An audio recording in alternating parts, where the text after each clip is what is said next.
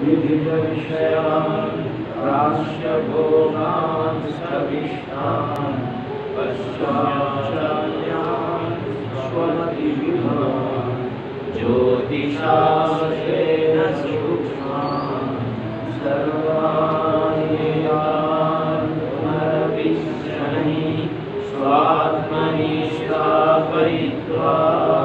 विदित्वा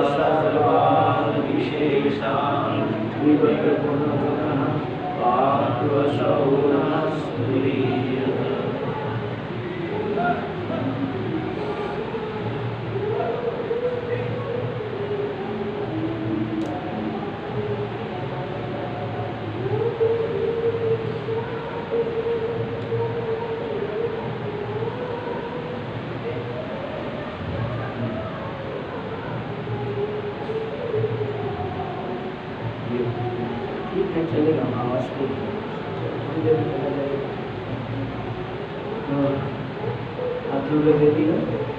मांडव उपनिषद में तृतीय प्रकरण अद्वैत प्रकरण मतलब अद्वैत परमात्म सत्य है इसको श्रुति वाक्य के श्रुति अनुकूलता श्रुति वाक्य के सारे श्रुति अनुकूलता के द्वारा सिद्ध हो करने के लिए ये तृतीय प्रकरण शुरू हुआ।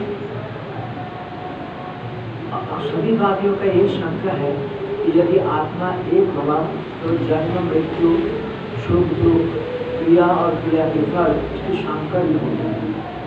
पर उन उन वादियों में इसके दोष अधिक आ रहा है। वेदांत तो दो चीज़, हमने केवल दो चीज़ माना। एक हो गया आत्मा एकत्व और अज्ञान बस। आत्मा एकत्व शुद्ध शब्द है और इस अज्ञान माया के कारण ही इस प्रकार भेद दिखाई पड़ता है। और हर क्षेत्र में हर एक बात ने व्यवहार माया से होता ऐसा माना। परंतु शरीर, स्थूल शरीर को आत्मा माना।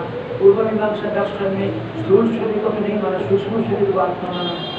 कार्य कारण सबका भक्ता और आत्मा माना तो थोड़ा थोड़ा करके जो है, एक जगह पे तो माना, एक जगह पे नहीं माना। वेदांति बोलता सारा व्यवहार एक किसे निषिद्ध हो जाता है, किससे? अज्ञान से। सारा व्यवहार अज्ञान से होता है। प्रमाता प्रमात्री प्रमाण आदि जो भी कुछ व्यवहार होता है प्रमाण आदि सब अज्ञान से आत्मा के ऊपर अभ्यास करके होता है। केवल एक अज्ञान को मानने से काम चलते हैं। इसीलिए आपने जो कहा कि जन्म मृत्यु शोध दुख क्रिया क्रिया प्रति संकट जो होता है, ये होना हमारे सिद्धांत में संभव है। आपके सिद्धांत में होना संभव है। आप यहाँ पे जो है सांख्य और योग दर्शन के सिद्धांत को निराकरण करने के बाद, क्योंकि तुम्हारा प्रकृति एक है। और तुमने इच्छा शोक दुख को तुमने बुद्धि के धर्म माना और जब तो शरीर के धर्म है पुरुष को तुमने असंख्य माना के निश्चित स्वरूप माना तो उसकी मानने की आवश्यकता है ऐसा वो न्याय दर्शन का खतरनाक है। वो लोग जो है, ये आत्मा में गुण माना और समवाय संबंध से रहते हैं। और समवाय क्या होता है? ये नित्य संबंध होता है। इस प्रकार की आत्मा में गुण मानने पर आत्मा से गुण अलग कैसे होगा? तो मुक्त कैसे होगा? तो तक आत्मा से गुण अलग है, इतना ज्ञान मात्र से मुक्त हो जाएगा। ऐसे उनके सिद्धांत है। श्लोक के एक बार पढ़ेंगे हम लोग, पाँच का प्रश्न ठीक है ना? यथैकस्मिन् घटाकाशे तजो धूमादिभिर्युते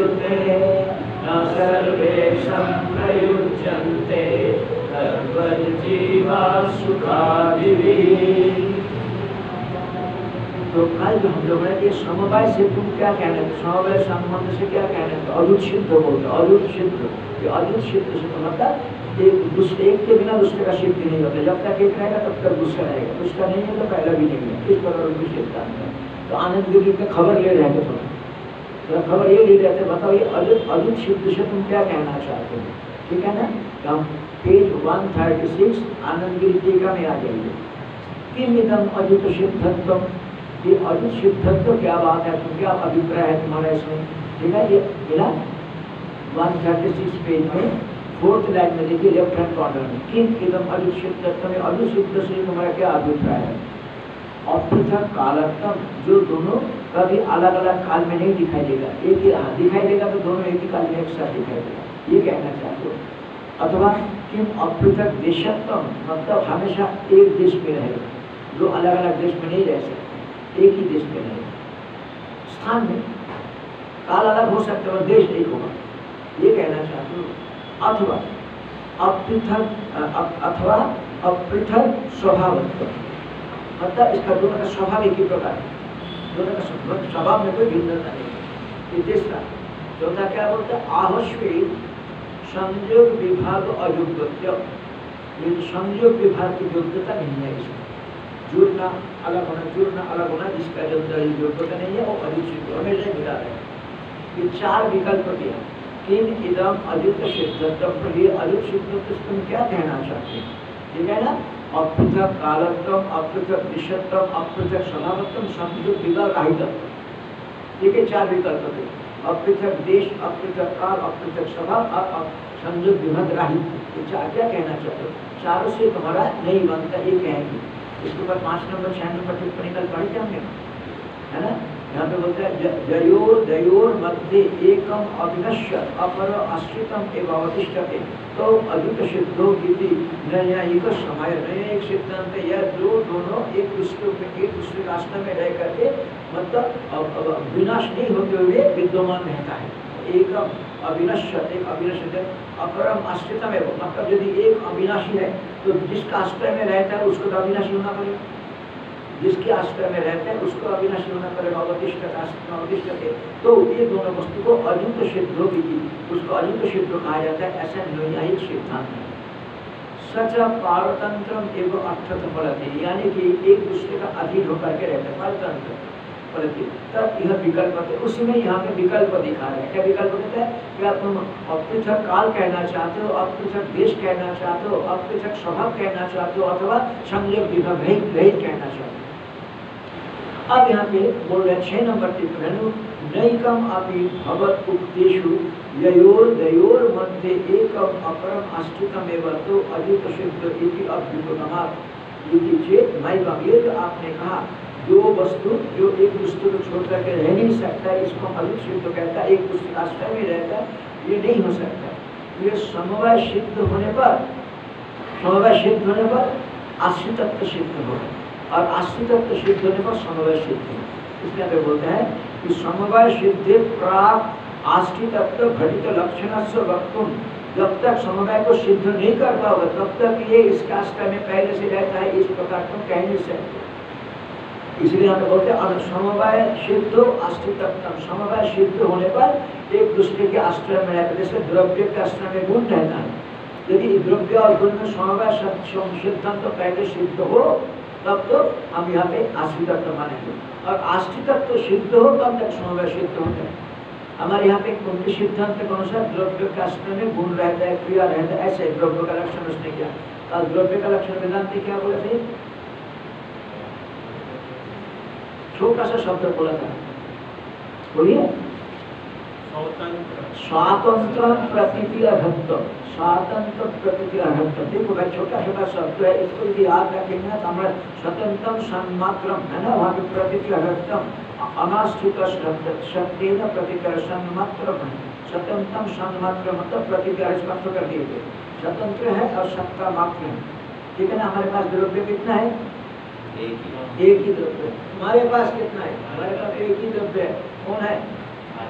आत्मा व ब्रह्म वो स्वतंत्र है कि किसी का आश्रय में रहता है? स्वतंत्र है। स्वतंत्र। हाँ हमेशा ध्यान रखना स्वतंत्र है किसी का आश्रय में नहीं रहते उसकी उसकी सत्ता की प्रतीति होती है।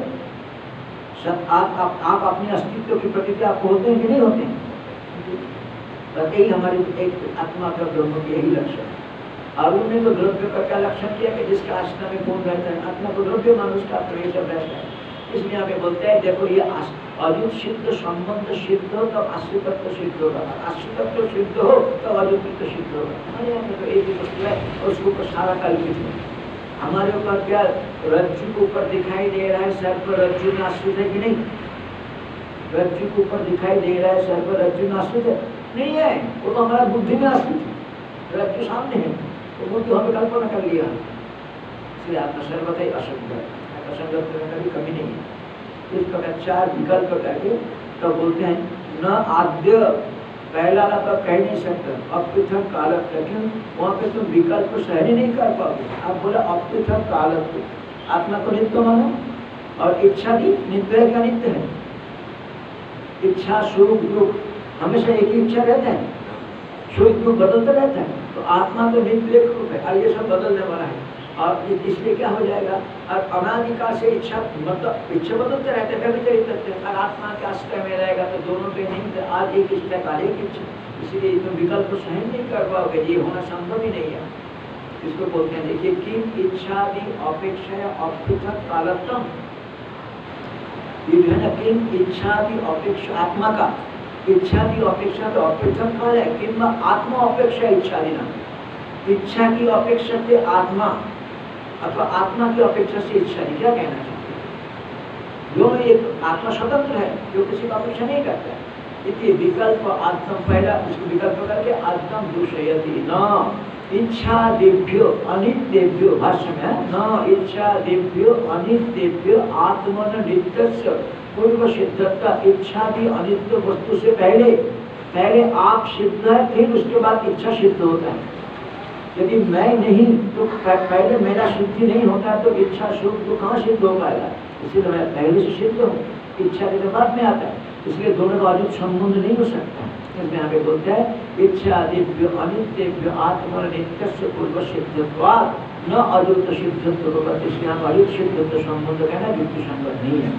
संगत नहीं है।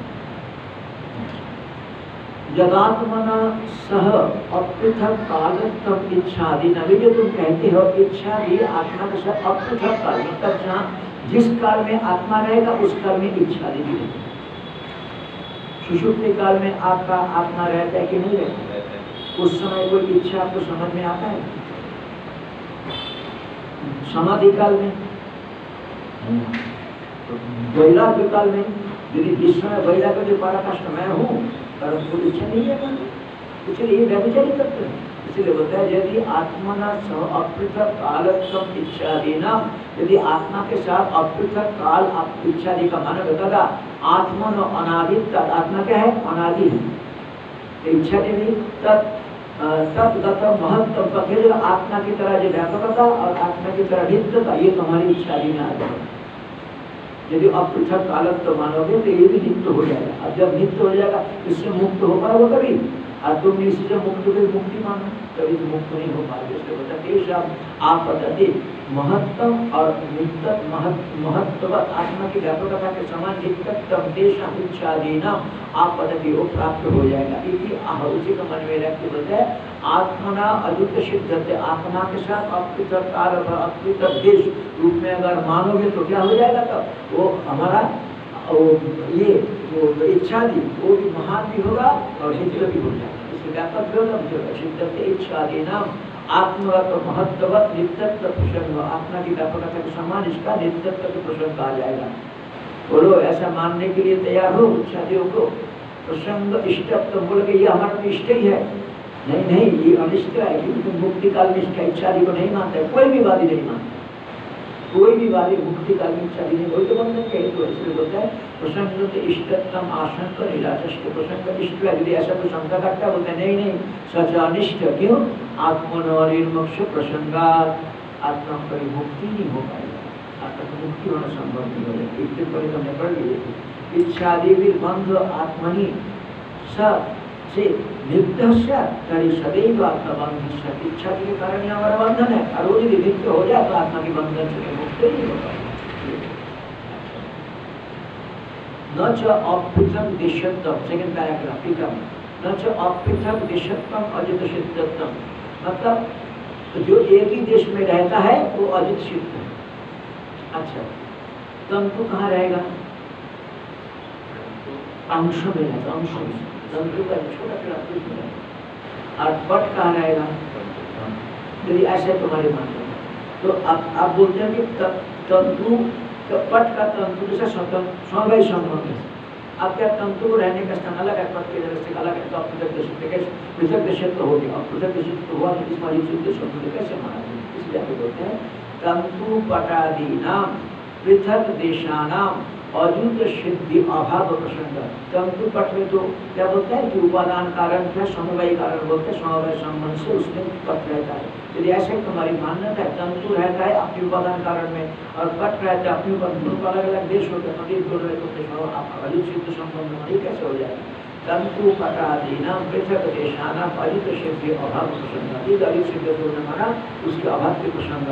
आठ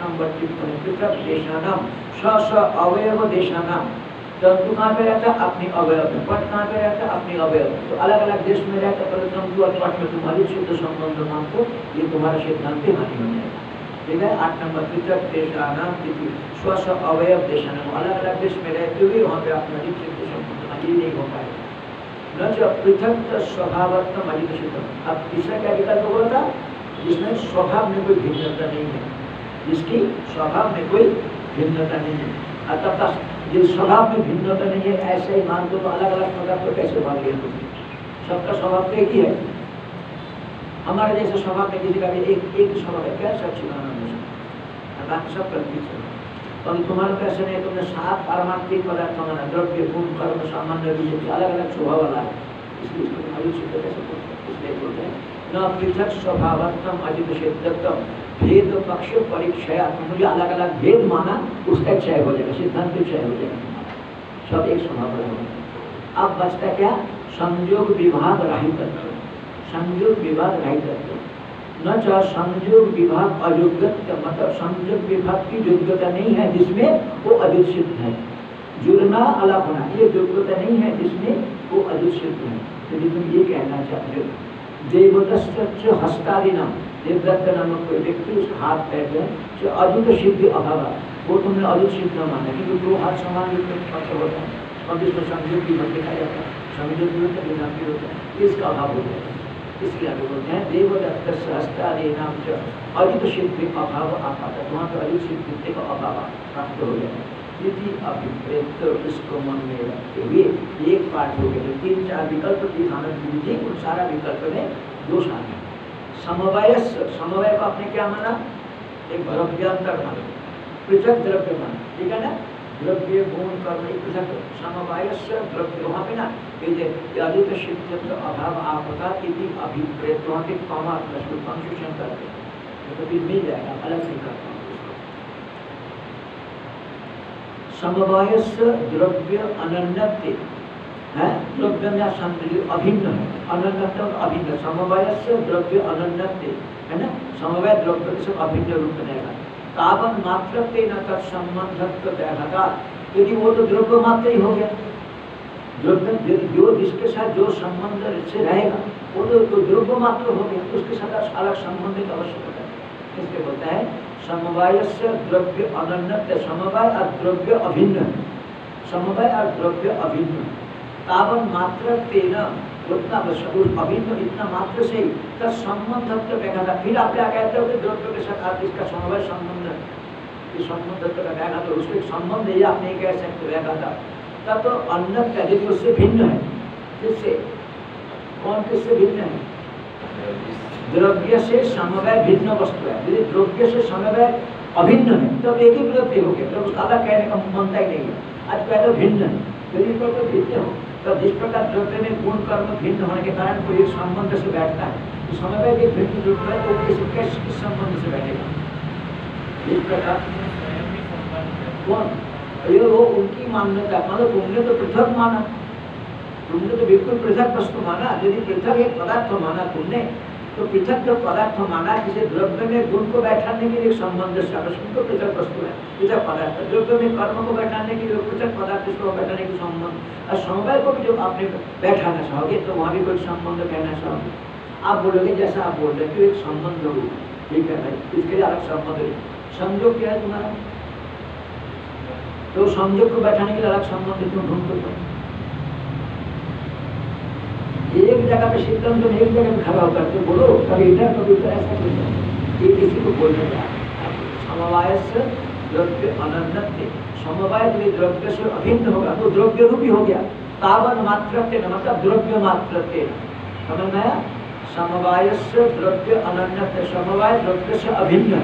यदि ऐसा कहो, है ना तो क्या हो जाएगा? तावन मात्र जिस प्रकार घरा मृतिका से अभिन्न है। तो क्या हो जाएगा? घरा मृतिका स्वरूप ही है। मृतिका रूपी है इसी प्रकार समवाय द्रव्य से अभिन्न है। यानी कि द्रव्य रूपी है तावन तेना तक संबंध तो कहना तो उसको एक संबंध रूप है। ये तो आप जाए उसको संबंध नहीं कह सकते। आपने लिखा होगा उससे भिन्न है।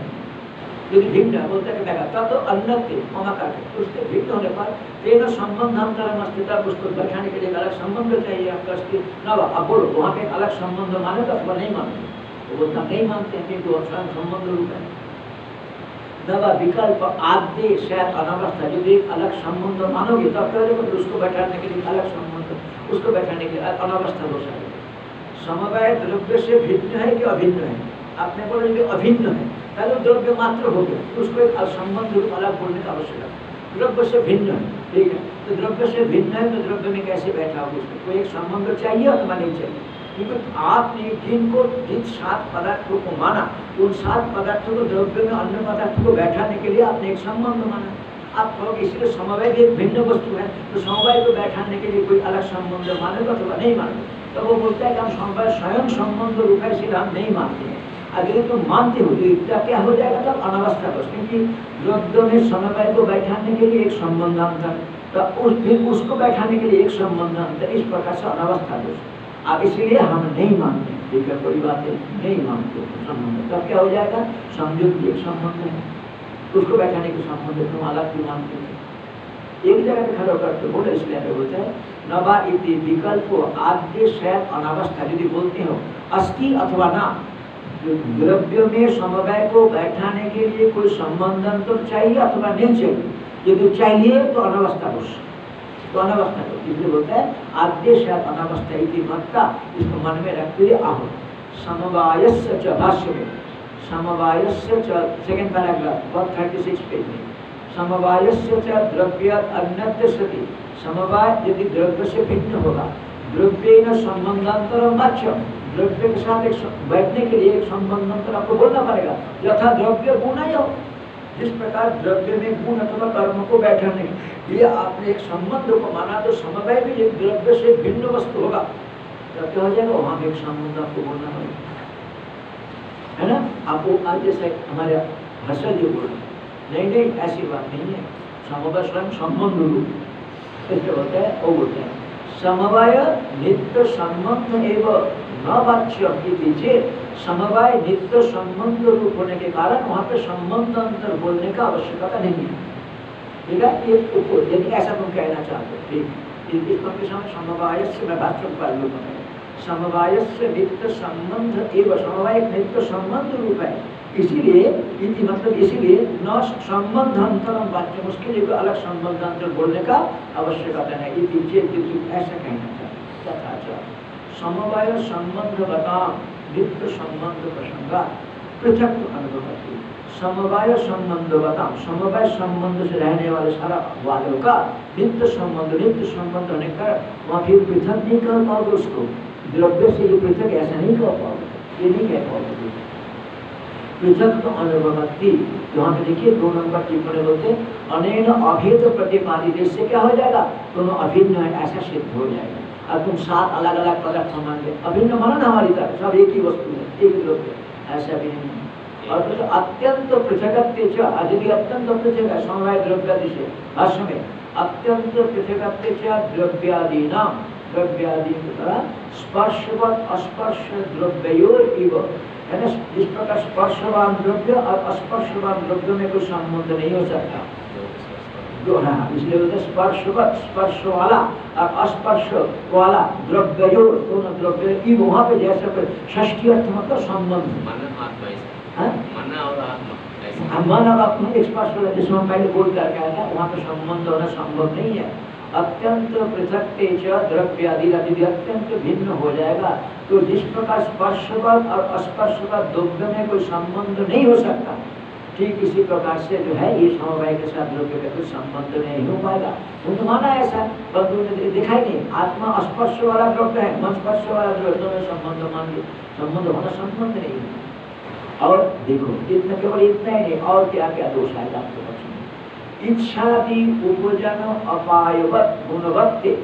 आप देखिए, कोई एक द्रव्य है, जिस द्रव्य में, जिस द्रव्य में वर्ण घटना रूपी कोई गुण रहता है इस प्रकार मान लीजिए कि आ, हमारी बुद्धि कभी बुद्धि काम करती है कभी नहीं करती तो इस बुद्धि की जो काम करना हुआ कि अनित्य होने के कारण तो उसका आश्रय जो बुद्धि वो स्वयं अनित्य है।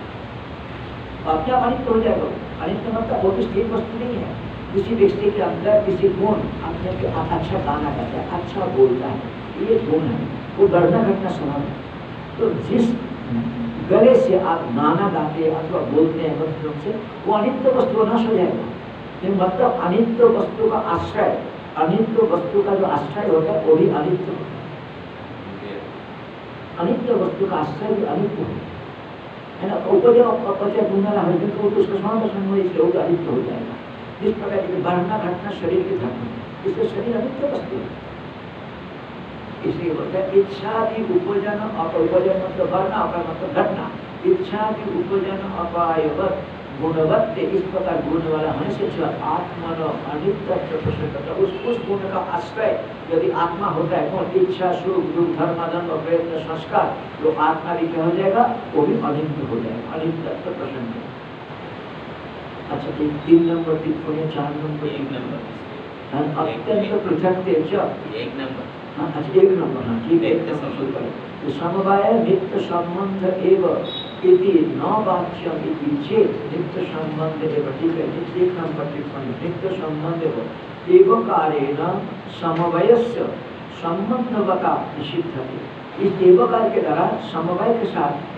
कोई संबंध के साथ संबंध के साथ कोई संबंध नहीं होगा समवाय का किसी संबंध के साथ संबंध नहीं होगा इसलिए एवकारेण समवाय से संबंध बता निषिद्ध थे एवकार से अयम नित्य पद सारस्य लब्ध एवकार का है नित्य है ना वहाँ पे समवाय नित्य संबंध एव ये एवकार कहाँ से लाया आपने वो नित्य पद को सारस्य लभ्य प्रयुक्त मतलब नित्य शब्द का जो अभिप्रेत अर्थ है मतलब समवाय, अपने आप के एक समवाय से संबंध निषिद्ध है समवाय के संबंध वाले के साथ रहेगा, ऐसा जो कि स्वयं संबंध है उसका निषेध किया जाएगा समवाय एक संबंध ही आपने कहा उसके दूसरा संबंध नहीं है होगा तो दूसरा संबंध की आवश्यकता नहीं है। इसलिए आप संबंध अंदर संबंध को यहाँ पे नहीं कहना चाहिए।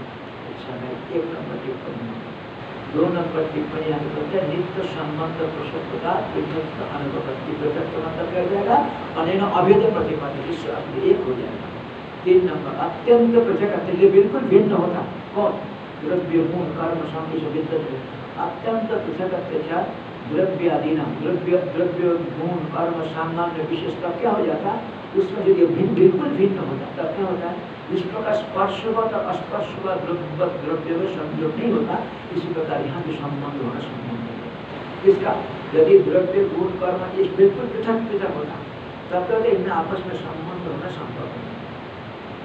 संबंध संभव है। क्योंकि हम लोग, हमारा बुद्धि में क्या दिखाई पड़ते हैं कि हमें इस, ये जुड़ा हुआ है, इसलिए एक साथ दिखाई पड़ते हैं।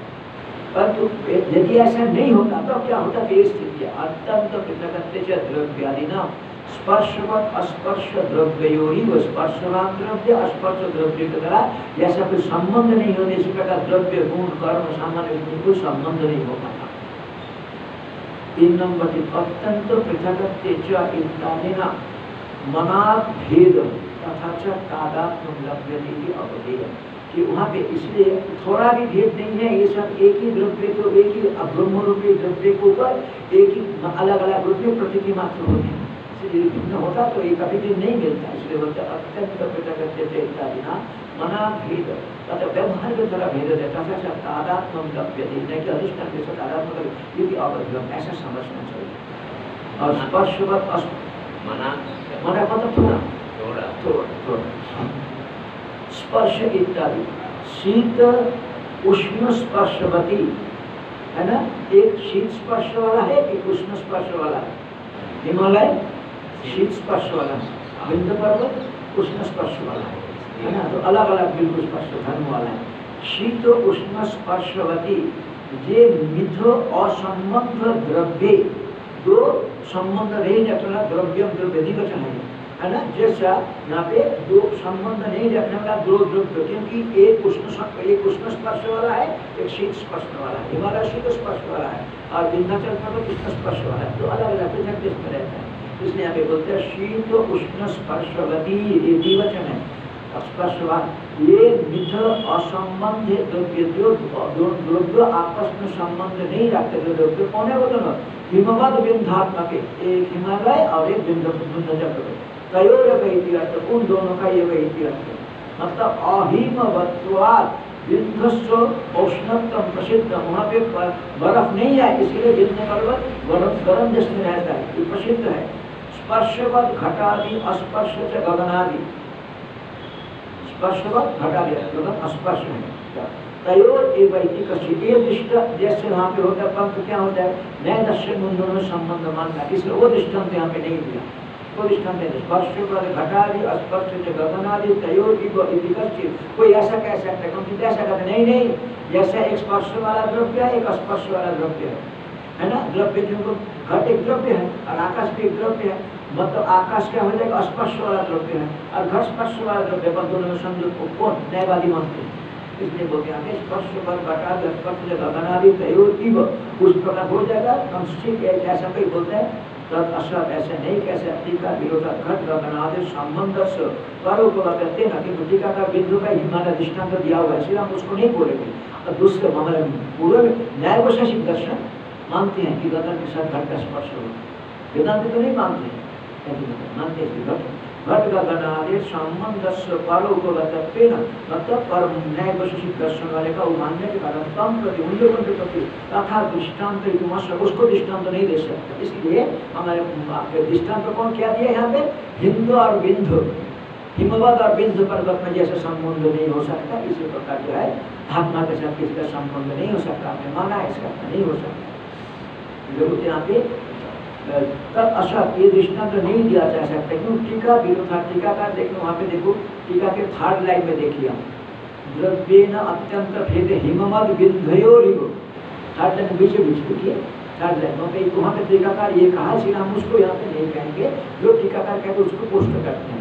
होता है टीका विरोधा घट संबंध से टीकाकार उसको क्यों नहीं दिया? क्योंकि हमको वो दृष्टांत तो देना पड़ेगा जो उभयवादी संबंध हो। परंतु न्याय वैशेषिक दर्शन में घट के साथ गगन का संबंध होता है ऐसा मानता है। इसलिए आप तो कथा दृष्टांत एकदम असत उसके प्रति उसको नहीं दिया जा सकता है। अन्यथा इति अलग बस इतना ही कहना चाहते हैं तो ये चार नंबर स्पर्श स्पर्श मतलब संबंध अनुभवती इच्छा उपजन अपारिवत गुणवत्ते। इच्छा की जो बढ़ना घटने वाला कभी हमारी इच्छा बहुत बढ़ जाता है। कभी कभी इच्छा हम दबा लेते इसलिए उच्छा बच्चा सुख, दुख, धर्म धर्म ये सब जो बढ़ने घटने वाला धर्म जो आत्मन अनित्य पसंद यदि अनित्य गुण का आश्रय जो द्रव्य होगा और द्रव्य भी अनित्य होगा। अनित्य गुण का आश्रय जो द्रव्य होगा, वो द्रव्य भी अनित्य ही होगा। अनित्य गुणों का आश्रय जो द्रव्य होगा, वो द्रव्य स्वयं भी अनित्य होगा। आत्मा में यदि इस प्रकार इच्छा आदि अनित्य गुण का आश्रय मानव तो आत्मा भी तो अनित्य के प्रसंग आ जाएगा समझा रहे इसी को।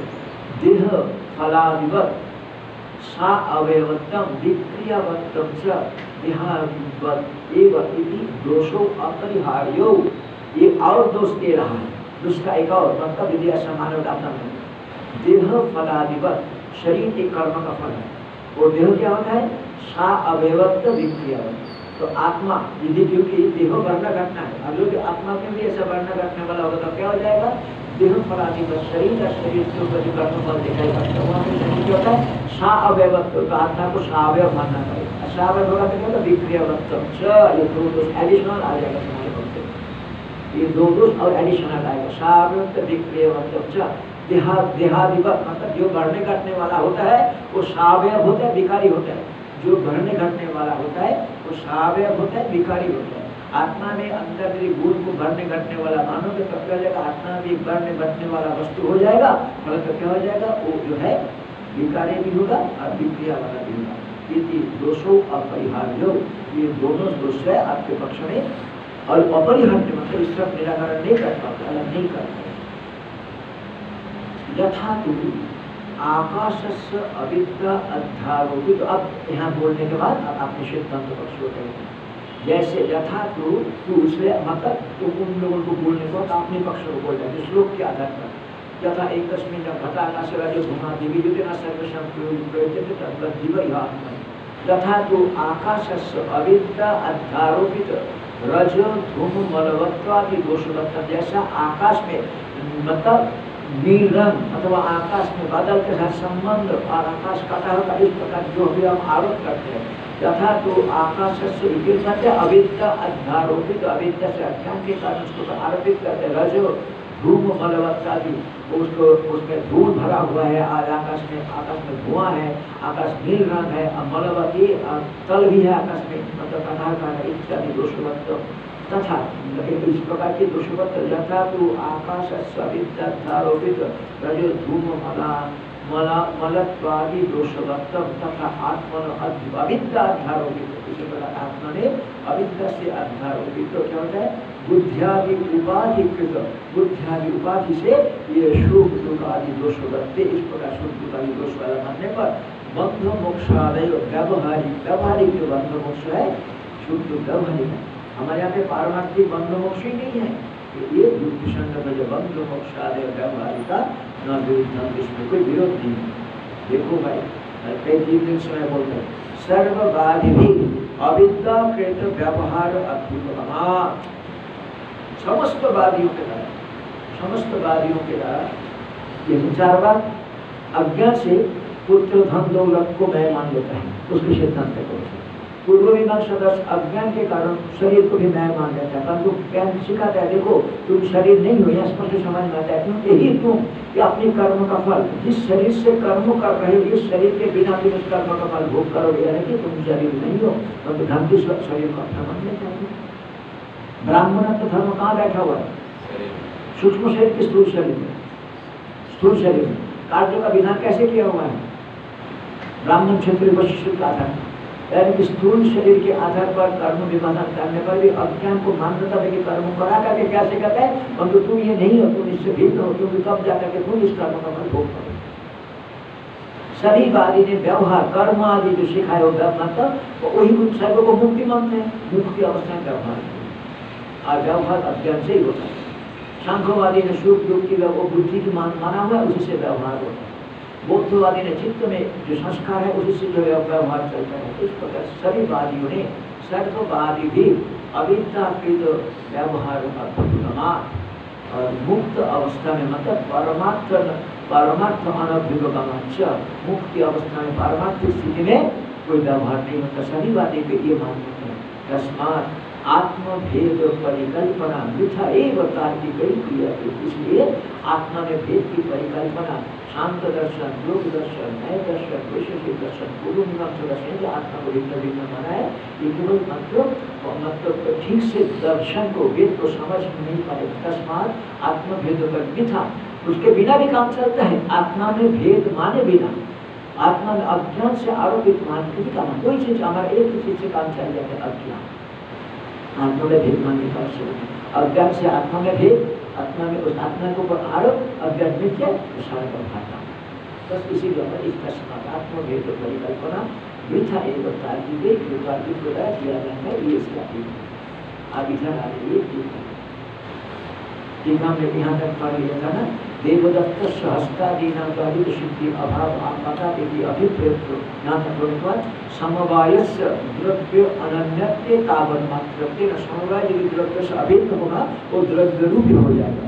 तब संबंध हम तो कहना इसलिए वो एक संबंध है कि आप नहीं कह सकते। और तब गमा होते अब यदि उससे भिन्न मात्र तब तो अन्य यदि समवाय द्रव्य से भिन्न होगा तेन संबंधांतरम अस्थित द्रव्य के साथ संबंध करने के लिए एक संबंधांतर को तुम मानोगे अथवा नहीं मानोगे। यदि मानते हो तो अनावस्था दोष।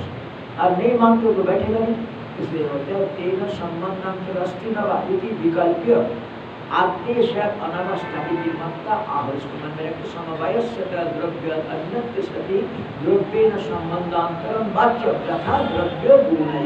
जैसे एक संबंध तो बोला आपने हमारा सिद्धांत को समझा नहीं। क्या नहीं समझा बता तो बोलते हैं कि द्वितीय मतलब हम जो संबंध अंतर नहीं मानेंगे। संबंध अंतर मानोगे अथवा नहीं मानोगे? बोलते हैं, नहीं मानेंगे। ठीक है तो द्वितीय बोलते विकल्प आदेश अनावस्था द्वितीय नव नवा, नहीं है। तो द्वितीय शंकर का बोलते हैं? समवाय क्यों नहीं मानेंगे? समवाय नित्य संबंध एवं न वाच्य चेत। समवाय नित्य संबंध है, इसलिए तो संबंधांतर हमको बोलने की आवश्यकता नहीं है। से इसलिए यहाँ पे जो वहाँ पे आएगा न वाच्यम। उसके आगे जोड़ना पड़ेगा। न वाच्यम संबंध अंतर विशेष समवाय एक संबंध स्वयं होने के कारण अब एक संबंध अंतर को बोलने की आवश्यकता नहीं है। ठीक है ना यहाँ पे समवाय नित्य संबंध ये वही नचवाच्यम ये नचवाच्यम मतलब इस अर्थ संबंध अंतर नचवाच्यम, यहाँ तक पूर्वादी न यदि चेत यदि हम ऐसा करें। तो हम देखिए करो। समवायस्य नित्य संबंधत्वे समवायवता द्रव्य गुणादीनामपि तद्वत्वात् भेदस्य कदाचिदपि अनुपलब्धात् त्वमगतः समवाय एक नित्य संबंध है। ठीक है ना समवाय से नित्य संबंधत्व समवायवता मतलब समवाय से जुड़ने वाला वस्तु, समवाय वाला मतलब समवायी। समवाय जिसमें रहते हो गया समवायी। तो समवाय वाला, समवाय बता उन लोगों का वो कौन है? द्रव्य गुणाधीना, द्रव्य में गुण समवाय संबंध से बैठता है हो गया समवाय वाला। तो द्रव्य गुणाधीना भी तदवत्वा इस प्रकार से नित्य संबंध न होने कारण भेद क्वचित भी अनुकूल सब एक हो जाएगा। कोई भेद मानने का आवश्यकता नहीं है तो भेद भी मानते हो। इसलिए हमें बोलते हैं द्रव्य से कदाचित अनुकूल एक पृथक तो प्रथा अनुपत्ति तो इससे ये भिन्न ये जो तुम्हारे सिद्धांत है, ये कहना संगत बनेगा प्रथा की पाँच नंबर टिप्पणी में देखिए। प्रथा मतलब पृथक प्रथा मतलब भेद व्यवहार। यदि सत्य है संबंध से बैठा हुआ है, समवाय संबंध से अनुच्छेद बैठा हुआ है तब ये अलग अलग क्यों माना? अलग अलग क्यों माना? तो मैं भेद व्यवहार के विषय तो नहीं होगा? एक समय एक ऐसा संबंध माना कि अब हमेशा साथ साथ रहने वाला जो द्रव्य और गुण सब हमेशा साथ साथ ही रहेगा, उसको पृथक क्यों क्यों माना? तो पृथक भेद व्यवहार युक्ति संगत हमारे यहाँ पे तो केवल एक अधिष्ठान के ऊपर सारा कल्पित है कि द्रव्य गुण कल्प ये सब, क्रिया सब कल्पित है उसको। अच्छा तथा समवाय संबंध बता नित्य संबंध प्रसंग समवाय संबंध वाला जितना वस्तु है, द्रव्य गुण क्रिया, ये सब जो नित्य संबंध, उसका हमेशा उसका जुड़ा हुआ रहने के कारण पृथक अनुभव इसको भेद मानने की युक्ति संगत नहीं संयोगस्व अभी समवाय सामन चकारम तथा च, वहाँ पे आया हुआ है। आप समवाय एक संबंध है। उसको बैठाने के लिए कोई संबंध अंतर को आप नहीं मानना चाहते हो। ठीक है ना? संयोग को आपने एक संबंध माना। उसको बैठाने के लिए आप समवाय संबंध मानते ये बड़ी विचित्र बात समवाय भी एक संबंध है, संयोग भी एक संबंध है। समवाय संबंध होने के कारण उसको द्रव्य में बैठाने के लिए कोई संबंध की आवश्यकता नहीं है। संयोग भी एक संबंध है। उसको बैठाने के लिए फिर आपको समवाय संबंध से क्यों माना? संयोग के गुण मान रखा ना वो चौबीस गुण में संयोग के गुण मान रखता है। इसलिए हाँ इसलिए यहाँ पे बोलते हैं तथा संयोग से अपनी समवाय साम्य। ये संयोग भी तो एक समवाय के समय एक संबंध है। चकार है ना, सूर्य तो वहाँ पे तथा चकार के द्वारा भाष्य का ये सूचित करना चाहते हैं। छह नंबर टिप्पणी देखिए वहाँ पे इसको लंबा है तो ध्यान संयोग अपनी समवाय साम्य संयोग भी समवाय के समान ही हो जाए, वो एक संबंध है। यदि समवाय अपनी समवाय अंतरेण तिष्ठे, यदि समवाय अपनी समवाय अंतर न तिष्ठे द्रव्यादिशु तथा अनवस्था से यदि समवाय भी एक समवाय अंतर से द्रव्यादि में बैठता है, तब तो अनवस्था हो जाएगा। ये तुमने कहा तद बालना है उसको निषेध करने के लिए समवाय से नित्य संबद्धतम करते समवाय नित्य संबंध है, ऐसा तुम मानते हो। ऐसा माना जाए तथा असुर स्वरूप अवधिष्ठ यानी कि समवाय उस द्रव्य के साथ स्वरूप रूप रहता है। तत्व संयोग एवं स्वरूपेण अवदिष्ठता नाम। इसी प्रकार संयोग भी एक संबंध है, वो भी द्रव्य में मतलब स्वरूप रूप में विद्यमान रहते वो भी तो संबंध है। तत्व संयोग एवं स्वरूपेण अवतिष्ठता नाम। क्यों समवाय दूर संयोग को बैठाने के समवाय संबंध को दूर व्यसना संयोग समवाय साम्य यह अशुचि। अतः इस प्रकार से संयोग सही अशुचि लुंग का प्राप्त हो जाए सूचित किया जाता है। सूचित किया गया पैसे लुंग सूचित ऐसा सूचित किया गया। किंतु संयोग समवाय एवं संबंध, संयोग को एक समवाय संबंध से बैठाना पड़ता है। कथा का संयोग अपिनित्य तब ध्यान देखेगा संयोग के लिए समवाय संबंध से बैठा हुए। जरा सोचो, द्रव्य में गुण को समवाय संबंध से आपने बैठाया, तब क्या हो जाएगा? वो गुण वहाँ पे नित्य रहेगा। तो संयोग भी यदि एक समवाय संबंध से बैठेगा तो संयोग नित्य हो जाएगा, फिर पृथक नहीं होगा? फिर उसको पृथक भी तुम मानते ये ऐसा अपने सिद्धांत में गड़बड़ करते इसलिए बोलते हैं किंतु संयोग सभी समवाय एक संबंध तथा का संयोग पीड़ित नहीं नित्य संबंधवान, अनित्य संबंध विरह संबंध होगा जो नित्य संबंध वाला होगा तो अनित्य संबंध से नहीं होकर उसके साथ संबंध होना संभव नहीं है।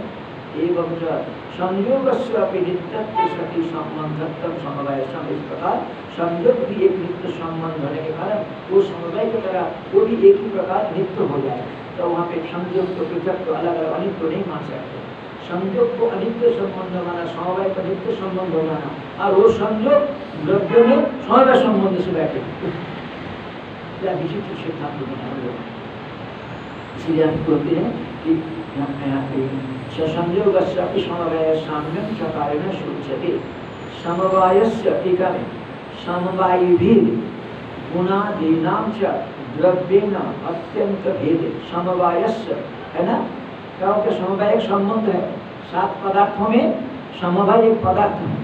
संबंध अपना कोई बात नहीं। इस प्रकार द्रव्य और गुण भिन्न वस्तु है, उसको बैठाने के लिए अपने संबंध इसी प्रकार समवाय पदार्थ अलग समवाय समवाय भी समवाय मतलब जिसमें समवाय रहता है। गुणादि नाम है ना क्योंकि उसमें समवाय गुण आदि का गुण क्रिया इसके साथ चल द्रव्य न अत्यंत भेद। है द्रव्य के साथ गुणादि का अत्यंत भेद होने के कारण, है ना, जिसमें समवाय आप बोलते हो, लगता है कि गुणादि नाम गुण क्या हो जाएगा? द्रव्य हो गया अलग। गुण, कर्म, सामान्य विशेष। समवाय है, यह बोला तो इस प्रकार द्रव्य से अत्यंत भेद द्रव्य से यदि गुणादि अत्यंत भिन्न होगा जाकर हिमवद बिंध्यो हिमालय पर्वत और बिंध्य पर्वत। हिमालय पर्वत उत्तराखंड में है और विंध्य पर्वत पश्चिम में वेस्टर्न साइड में है। इसलिए बोलते हैं हिमवद एक में शीत है और इसमें ग्रीष्म प्रधान है। बिंद एवं संबंध अनुभव करते दोनों बिल्कुल भिन्न पदार्थों में संबंध होना संभव नहीं है। तेषु परतंत्रता व्यवहार। असिद्ध इसलिए संबंध मतलब क्या? परतंत्रता। एक दूसरे का की व्यवहार जिस प्रकार इन दोनों में संबंध नहीं है मतलब इसका और इसका तो संबंध नहीं है। तो ये इसका अधीनों का व्यवहार नहीं करते, स्वतंत्र व्यवहार कर सकते। और तो गुण द्रव्य का आश्रय बिना किए बिना व्यवहार नहीं कर सकता। क्रिया द्रव्य का आश्रय किए बिना व्यवहार नहीं कर सकता ये परतंत्रता है उसकी। जो वस्तु बिल्कुल भिन्न होना, उसमें से परतंत्रता नहीं होना चाहिए। ये इससे बिल्कुल भिन्न है, इसके व्यवहार स्वतंत्र, इसका जब कभी इसका मिल सकता है हम व्यवहार स्वतंत्र है इसका ये उसका अभिप्राय इसलिए यहाँ पे बोलते हैं कि समवायस्य समवायी भी गुणादीनां च द्रव्येन अत्यंत भेदे हिमवत बिंधयोर एव संबंध अनुभवते है उसकी जो संबंध होना संभव नहीं है, ऐसा द्रव्य और गुण में संबंध होना संभव नहीं है। देशु परतंत्रता व्यवहार, इसलिए वो एक दूसरे का अधीन होकर के व्यवहार करना ये होना संभव नहीं होगा इसलिए बोलते अत्यंत पृथक द्रव्याधीन अस्पर्श द्रव्य संबंध मतलब संबंध है किंच इच्छादय न सिद्धांत अनुमान कर अनुमान इच्छा भी आत्मा का गुण नहीं हो सकता क्यों उपजन अपायवत्वा रूपाधिगत जैसा रूप को अपने आत्मा का गुण नहीं माना नहीं माना शब्द स्पर्श रूप शब्द को अपने आत्मा का गुण नहीं माना, क्योंकि वो बढ़ने घटने वाला नहीं रूप बढ़ने घटने स्पर्श कभी तो तीव्र मतलब परिवर्तन करता है। उसमें स्पर्श कभी स्पर्श इस प्रकार से ये बढ़ने घटने वाला तो परिवर्तन वाला होने के कारण क्या बोला किंच इच्छा दे अनुमान कर और भी देखो इच्छा दी क्या होता है? ना आत्मगुण ये आत्मा का गुण नहीं हो सकता है। क्यों नहीं हो सकता है? उपजन अपायवत्वाद बढ़ने घटने वाला होने के कारण। तो उन्हीं के सिद्धांत से कौन सा अनुमान कर रहे हैं? रूपादि तुम्ही ने माना ऐसा। रूपादि आत्मा का गुण नहीं है, क्योंकि बढ़ने घटने वाला होने के कारण। तो इच्छा की बढ़ने घटने वाला नहीं है क्या? इसलिए इच्छा ने भी आत्मा का गुण नहीं हो सकता। सिद्धांत पक्ष उन्हीं के सिद्धांत से उनको समझा रहे हैं। इसलिए बोलते हैं इच्छा देव पक्ष हो गया, न आत्मगुण शास्त्र हो गया आत्मा का गुण नहीं हो सकता है तो क्या हो गया? उपजन अपाय बढ़ने घटने वाला होने के कारण दृष्टांत हो जाएगा रूपाधि रूपाधि के सामने शब्द स्पर्श स्पर्श यहाँ पे बोलते हैं, आदि से शब्द हो जाएगा। तो रूपादि में देखो, उपजन उपाय तो धर्म बैठा हुआ है, इसलिए वो आत्मा का गुण नहीं है। इसी प्रकार की इच्छा में भी उपजन उपाय धर्म बैठा हुआ है बढ़ना घटना इसलिए वो आत्मा का गुण नहीं हो सकता। सामान्य रोड माने याद बात गया सिद्धांत पक्ष उनके सिद्धांतों को खंडन करने के लिए उनके सिद्धांतों पर अनुमान करते हुए याद बात। आत्मा न अनित्य गुणवान, आत्मा अनित्य गुण वाला नहीं हो सकता है नित्यत्वा क्योंकि जो अनित्य गुण वाला होता है, वो स्वयं अनित्य होता है। और आत्मा को नित्य माना, इसलिए आत्मा अनित्य गुण वाला नहीं हो सकता है। दूसरा अनुमान दे रहा अपने पक्ष अपने अपने सिद्धांत के अनुसार। पहला अनुमान उनके सिद्धांत के अनुसार।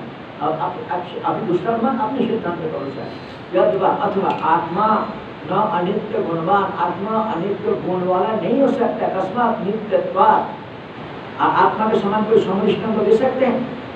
आत्मा के कोई अन्वय दृष्टांत नहीं दे सकते, व्यतिरिक्त दृष्टांत देना पड़ता है, क्योंकि आत्मा के समान कोई वस्तु है इसलिए आत्मा आत्मा को समझाने के लिए व्यतिरिक दृष्टांत देना पड़ेगा। इसलिए व्यतिरिक न देहादिवत जैसे देहादि में उपजय अपजय धर्म वाला हो जाए, अनित्य गुण का आश्रय है, इसलिए देह अनित्य है। देह अनित्य गुण का है, इसलिए देह अनित्य है। आत्मा मतलब अनित्य गुण का आश्रय नहीं हो सकता, क्योंकि आत्मा नित्य है। तुमने भी माना, हमने भी माना। इसलिए आत्मा अनित्य गुण का आश्रय नहीं हो सकता। व्यतिरिक ना योगा शरीर शरीर अनित्य गुण का आश्रय है, क्यों? गण्य करने वाला है। इसलिए आत्मा जो है, ये अनित्य गुण का आश्रय नहीं हो सकता। इच्छादि उपजय उपजन अपायवत गुणवत्त आत्मन अनित्यत्व प्रसन्न आत्मा भी अनित्यत्व दोष आ जाएगा न केवलम आत्मन गुणत्व दोष। आत्मा में अनित्य गुण आने पर आत्मा अनित्य हो जाएगा, केवल इतना ही मात्र दोष नहीं है। आत्मा सावय और विकारी भी हो जाएगा। यदि आत्मा बढ़ने, घटने वाला दो गुण वाला मान लोगे तो आत्मा क्या हो जाएगा? अवय और विकारी भी हो जाएगा। इसलिए बोलते हैं ना कि केवलम आत्मा नो अनित्य गुणत्व आत्मा अनित्य गुण वाला होने से अनित्य प्रसक्त आत्मा में अनित्व दोष आ जाएगा।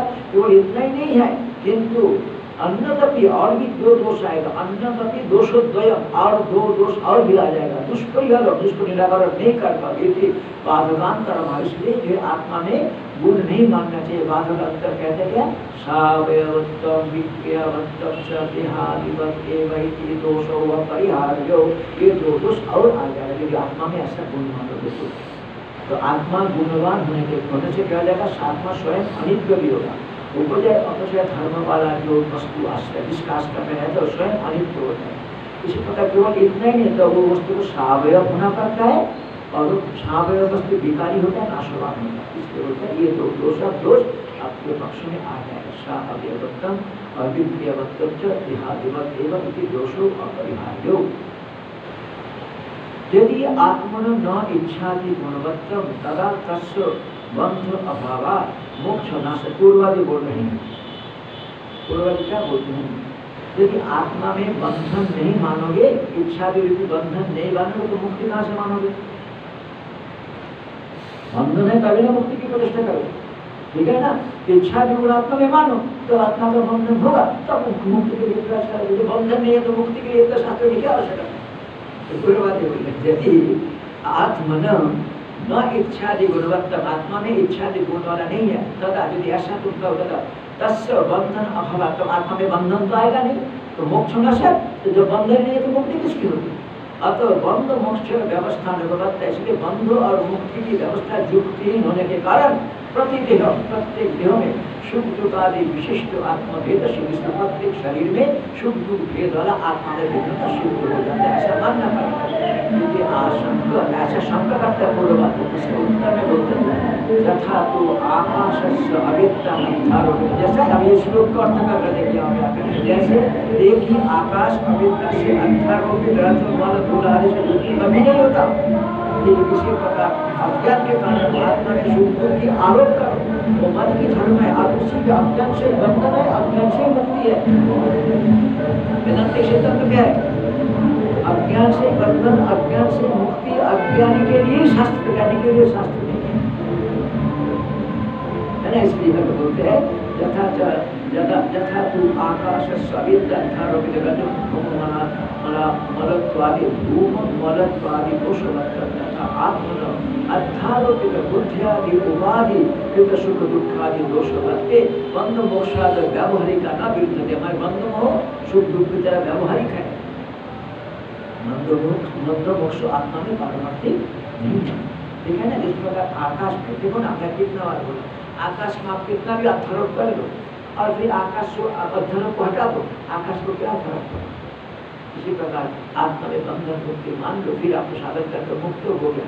आत्मा में क्या फ़र्क पड़ा? आत्मा का नित्य मुक्ति आत्मा ना कहीं नहीं ही गया किसी कल कर तो आज कौन सा हुआ? लास्ट दूसरा प्रज्ञा वैशाखवेद शुभितजलनिधे वेदनामन्तरस्थं भूतान्यालोक्यमग्नाम्याविरत जननग्राहघोरे समुद्रे। कारुण्यादुदारमिदं दुर्लभं भूतहेतो। यस्तं पूज्याभिपूज्यं परमं गुरुम्